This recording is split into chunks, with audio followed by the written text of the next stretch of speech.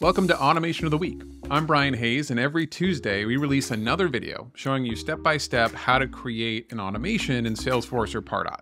This week, I'm going to show you how to update a case based off an email subject line. This is a pretty simple flow, but it has a lot of great use cases. So many people that are using cases within Salesforce already have email to case set up. So they have an email address like support at company.com or team at company.com, etc., where whenever somebody emails that address, it creates a case for them automatically in Salesforce. That on its own is quite valuable, but it's even more useful to be able to update fields on that case based off the subject of that email. So let me give you a couple use cases. One might be feedback for the CEO. Perhaps the CEO does a lot of speaking engagements, or maybe in their signature they have a little link that says, you know, send me a message. How are we doing? Etc. Sure, you could just have those be emails that go to the CEO, or you could actually get them into Salesforce so you can start tracking them. But you probably want to treat them differently than you would a typical support case. So perhaps they're still emailing team at company.com, but when it says CEO feedback in the subject line, you want different fields to be set. Maybe the priority is a bit higher, maybe the owner is different, etc. Another use case for this is if you're running some sort of marketing promotion, or if there's a coupon or something. You can have people email an address with the keyword in the subject line, and then we can sort those later within Salesforce.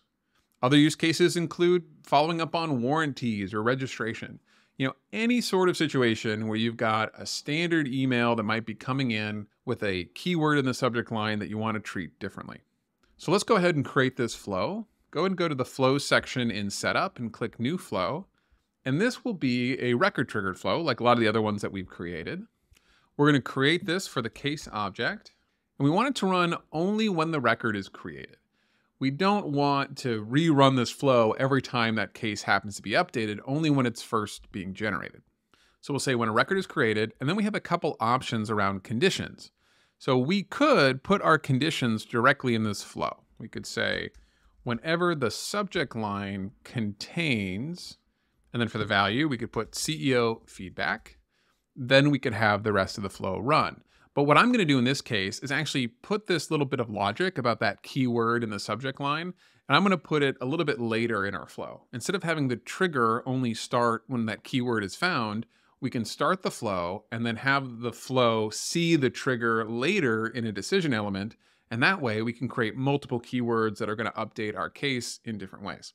So instead of me saying the subject contains CEO feedback, I just want to make sure that the subject is not null. So we'll say subject is null and write in false. Now our last option here for this trigger is we could either have this set to fast field updates or actions and related records. Well, fast field updates is what we want in this case because the only record we're going to be updating is the case that is being created. We're not updating any other related records in this particular automation. Then click done. And now we can add our decision element. So you can click the plus sign there and then click on decision. And I'm going to label this decision with subject keywords. And now on the left-hand side here, we can have multiple outcomes. So we could have we can have different keywords that we're going to send down different paths. For our first outcome here, I'm going to write in CEO feedback. And now we can add some of the logic here. Under the resource, I want to reference our global variable right here for record and then go down to subject. And this is where I'm going to say subject contains CEO feedback. Our default outcome, we'll just leave that as is. But we could add another outcome here as well. So let's say our keyword in this case is going to be product registration. Logic is really similar. We'll go back down to our global variable here, select subject, and we'll say if that subject contains product registration. And you could add as many other outcomes here as you'd like. Then click done. And now we've got these different paths. For our CEO feedback, go and click plus and select update triggering record. We'll say update case. It's already using the case record that triggered the flow. And now we could add additional conditions if we needed. And then beneath that, we can add any field updates that we want. So let's say for priority, we want to make sure that this is set to high. And let's say for type, we want the type value to be set to other. Now you could go and add additional fields here. If we wanted to assign it to a specific person or a queue, we could do that as well. We could even update the status from here as well. Then hit done. And it's the same thing for product registration. What I would typically do is select the element that we already created, that update case element. And then when you select it, you can hit copy and then hit the little plus sign and then you can choose paste. It just saves you a few clicks, especially if there's lots of different fields that you already had filled out there. Then you can go into that copy of the element and you can change any of these field updates as you see fit. And that's about it. So to review, we've got our trigger, which just starts whenever a case is created and that subject is not null. And then we have a decision point that's looking for a keyword within that subject.